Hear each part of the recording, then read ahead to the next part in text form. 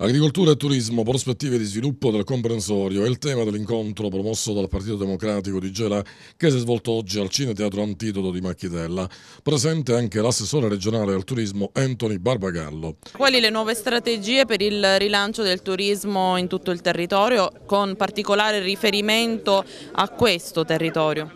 Eh, occorre innanzitutto riperimetrare i nuovi distretti turistici, eh, in questo momento abbiamo 27, occorre arrivare a 7-8, non più di questo numero e Gela va inserito uh, all'interno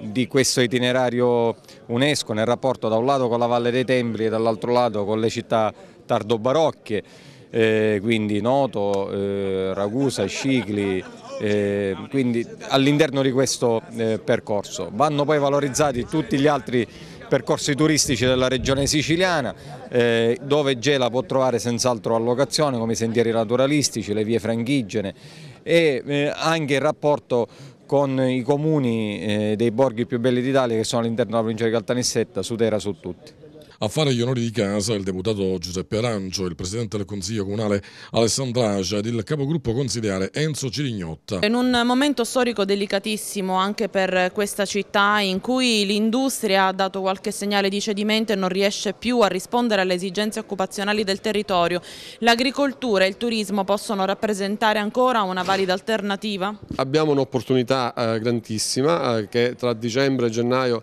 dovrebbero iniziare eh, le misure misure della programmazione europea. Questo territorio è stato nel passato poco informato, abbiamo la necessità di fornire intanto informazione, attraverso l'informazione eh, poi partecipare e cercare di vincere più bandi possibili. Un momento eh, storico come quello di oggi in cui vi, la, vi è la dismissione del polo chimico industriale, ecco che sicuramente eh, in maniera anche urgente deve, si deve intervenire anche a livello regionale, quindi grazie a questi strumenti finanziari si deve intervenire per um, puntare sullo sviluppo delle culture già esistenti come anche la sperimentazione per esempio dell'olivo e anche sperimentare nuove culture ehm, eh, che, siano, mm, che, sono biologiche e che, eh, come per esempio anche le culture fuori suolo, che non necessitano di acqua e che non inquinano il sottosuolo. Il prossimo anno ci, ci saranno delle opportunità importanti per le nostre aziende. Partiranno i primi bandi per quanto riguarda il programma di sviluppo rurale 2014-2020 e quindi dico alle, alle aziende che sono già insediate di utilizzare queste risorse finanziarie per migliorare le proprie infrastrutture, le proprie aziende, per renderle anche compatibili con l'ambiente, visto anche